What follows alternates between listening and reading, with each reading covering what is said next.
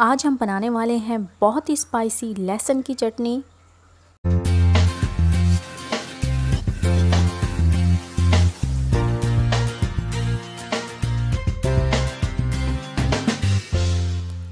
बिसमीम अस्सलाम आप देख रहे हैं किचन कैमरा और किचन कैमरा में मैं हूँ सना खान। आपको वेलकम करती हूँ। किचन कैमरा में आज हम बनाने वाले हैं बहुत ही मज़े की और स्पाइसी लहसुन की चटनी।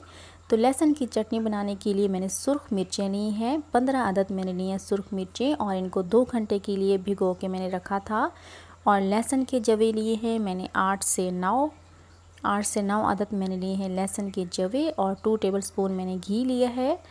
और वन टेबल स्पून मैंने लिया है ज़ीरा और वन टीस्पून मैंने लिया है कलवंजी। तो बहुत ही मज़े की और स्पाइसी आज हम लहसुन की चटनी बनाने वाले हैं।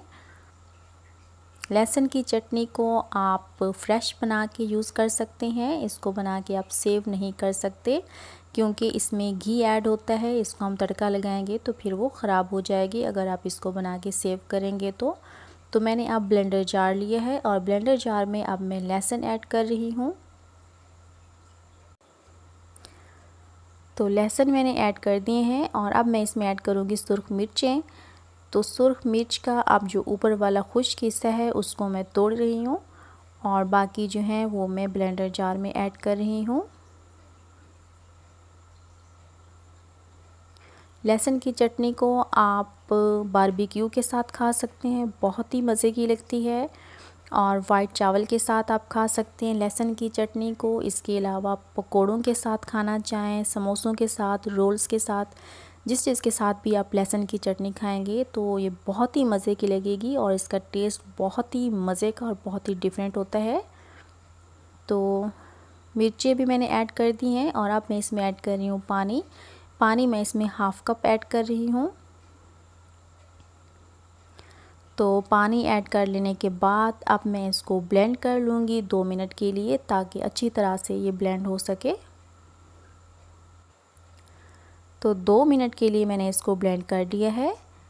तो चटनी अब रेडी है। देख सकते हैं कि अच्छी तरह से ब्लेंड हो चुकी है। तो अब चटनी के लिए हम तड़का तैयार कर लेते हैं। तो तड़का बनाने के लिए मैंने एक देचकी ली है और फ्लेम मैंने ऑन कर ली है और अब मैं इसमें घी ऐड कर लूँगी।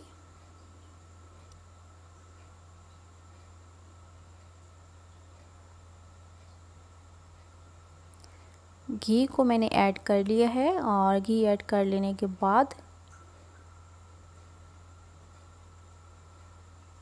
ये जब थोड़ा सा गर्म हो जाएगा तो फिर मैं इसमें ज़ीरा और कलवंजी ऐड कर रही हूँ।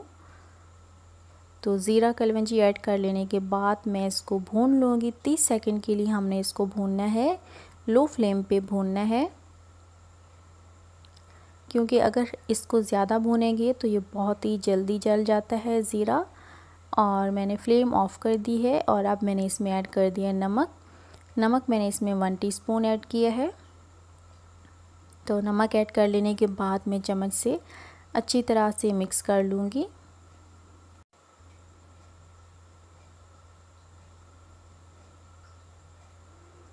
तो अच्छी तरह से मैंने मिक्स कर लिए है। अब हमारा तड़का रेडी है। तो अब चलते हैं नेक्स्ट स्टेप पे। तो मैंने एक कटोरी ली है और इसमें अब मैं चटनी ऐड कर दूँगी, जो मैंने बनाई है ब्लेंडर जार में। आप देख सकते हैं कि कितनी ही ज़बरदस्त बनी है।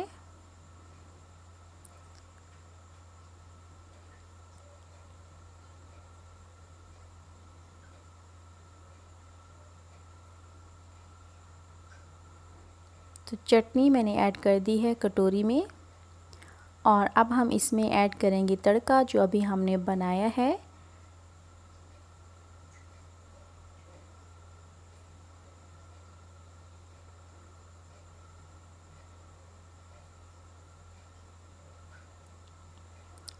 तो तड़का भी मैंने इसमें ऐड कर दिया है और अब मैं इसको चम्मच से मिक्स कर रही हूँ।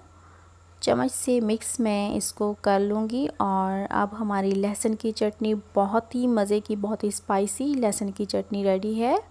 बहुत ही कम टाइम में बनी है और ये टेस्ट में बहुत अच्छी होती है। आप इसको घर में ज़रूर बना के देखिएगा। अगर आपको हमारी वीडियोज़ अच्छी लगती हैं तो हमारे चैनल को सब्सक्राइब कर लें, हमारे चैनल को लाइक करें और शेयर करें। थैंक्स फॉर वॉचिंग अल्लाह हाफिज़।